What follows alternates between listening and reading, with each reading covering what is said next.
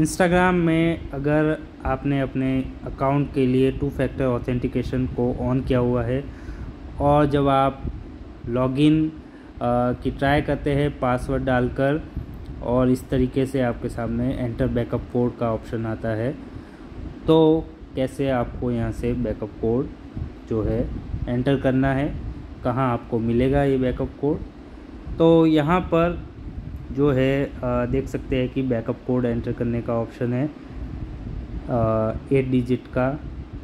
और ये आपको तब प्रोवाइड होता है जब आप टू फैक्टर ऑथेंटिकेशन को सेटअप करते हैं अपने इंस्टाग्राम अकाउंट के लिए।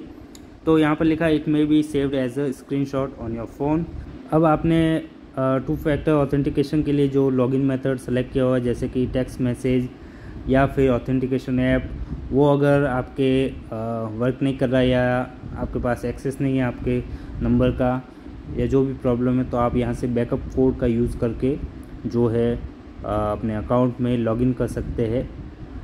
तो अब आपको अपनी गैलरी में चेक करना है। जब आपने टू फैक्टर ऑथेंटिकेशन को सेटअप किया होगा उस समय, के अकॉर्डिंग आपको डेट देख लेनी है और स्क्रीनशॉट के फोल्डर में देख लेना है। अगर आपने स्क्रीनशॉट खुद लिया है या फिर यहाँ स्क्रीनशॉट का जो ऑप्शन है उस पर टैप करके आपने जो है स्क्रीनशॉट लिया तो वो पिक्चर्स के फोल्डर में सेव हो सकता है तो आपको उसमें भी देख लेना है।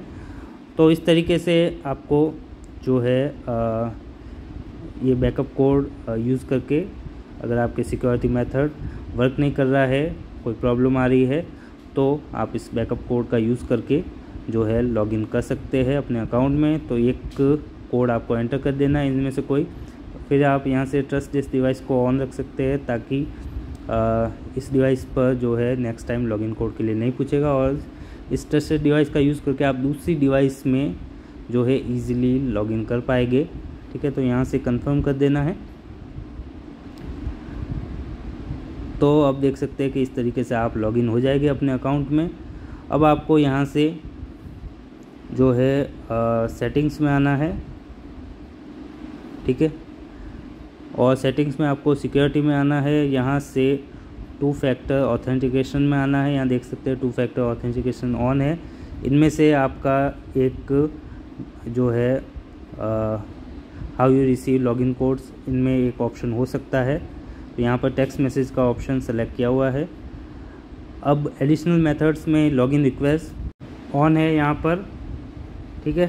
तो एक नोटिफिकेशन सेंड होगा जब आप नई डिवाइस पर लॉगिन की ट्राई करेंगे तो उसको नोटिफिकेशन को अप्रूव करके आप जो है नई डिवाइस पर लॉगिन कर सकते हैं। वो नोटिफिकेशन सेंड होगा, जो ट्रस्टेड डिवाइस होगी, जैसे कि ये डिवाइस है ट्रस्टेड डिवाइस तो ट्रस्टेड डिवाइस को भी आप मैनेज कर सकते हैं इजीली तो यहाँ पर बैकअप कोड का ऑप्शन है। यहाँ पर जाकर आप रिकवरी कोड्स देख सकते हैं और एक बैकअप कोड का यूज़ आप एक बार कर सकते हैं। और यहाँ से आप नए बैकअप कोड भी ले सकते हैं। यहाँ से स्क्रीनशॉट लेकर भी सेव कर सकते हैं। इन बैकअप कोड को आपको एक सेफ़ जगह पर रखना है, ठीक है? अब यहाँ से ट्रस्टेड डिवाइस में आप ट्रस्टेड डिवाइसेस को मैनेज कर सकते हैं। इन डिवाइस पर लॉगिन रिक्वेस्ट सेंड होगी, जिनको आप अप्रूव करके नई डिवाइस पर इजीली लॉगिन कर सकते हैं।